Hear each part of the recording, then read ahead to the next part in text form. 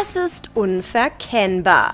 Das weiße T-Shirt mit dem roten Levi's-Logo. Wer es trägt? In letzter Zeit gefühlt jeder. Doch angefangen hat der Trend eigentlich in den 90er Jahren, beziehungsweise ist jetzt wieder dank gewisser Influencer auf Straßen und Co. zurückgekehrt. Der Grund? Levi's warb kürzlich gemeinsam mit der Influencer-Marketing-Agentur Intermate in Berlin auf Außenwerbeflächen mit exklusivem Snapchat-Content. Auf der Website horizont.net erklärt der Marketing Director von Levi's Central Europe, dass mit solchen Ideen und fortschrittlichen Aktionen weiterhin Trends gesetzt werden.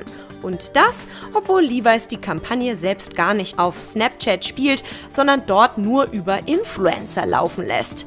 Toni Marfood, Caro Dau oder Marina the Moss.